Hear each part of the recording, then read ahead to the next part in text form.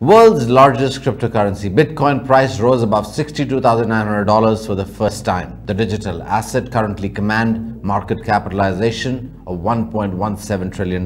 Meanwhile, the world's second largest cryptocurrency, Ethereum also hit lifetime high, pricing above $2,200. The experts attribute this rise to Coinbase listing on Nasdaq and predict the pricing of Bitcoin to rise further to the $75,000 mark by the end of this month.